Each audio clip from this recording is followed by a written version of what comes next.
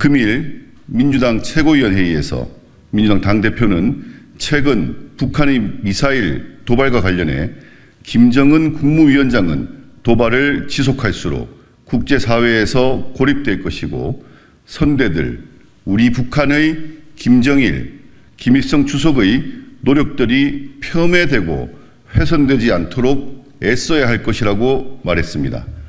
대한민국 제1야당의 대표가 발언한 내용은 두 귀로 듣고도 믿기지 않습니다. 부적절한 대북 인식이 여과 없이 표출된 만큼 현재 북한을 바라보는 민주당의 대북 인식관이 심히 우려됩니다.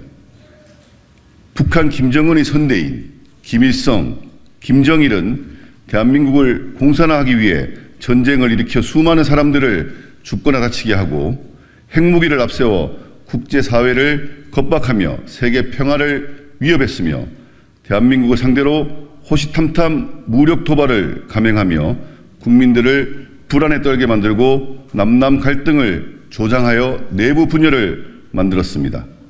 이런 북한의 행태를 김정은 국무위원장이 칭송하며 그대로 이어나가야 한단 말입니까? 민주당 당대표의 심각한 대북 인식에 대해 깊은 유감을 표하며 피를 흘리며 대한민국의 공산화를 막고 자유 대한민국을 지켜낸 선조들과 우리 국민들에게 사과하십시오.